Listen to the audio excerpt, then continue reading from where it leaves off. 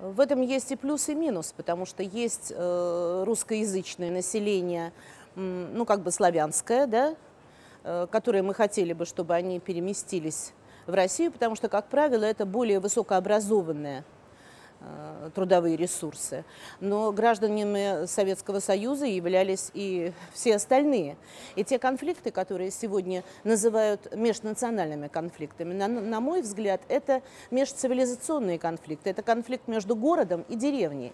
Потому что те, э, кто приезжают к нам и пытаются у нас натурализоваться, очень часто бывают людьми, так сказать, ну, другой культуры.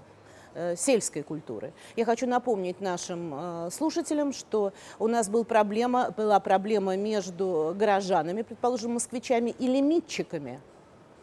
Э, тогда это были жители Псковской и Новгородской области. Вот сегодня роль этих э, лимитчиков у нас э, выполняют гастарбайтеры. Именно они вызывают такую, в общем, обеспокоенность наших граждан.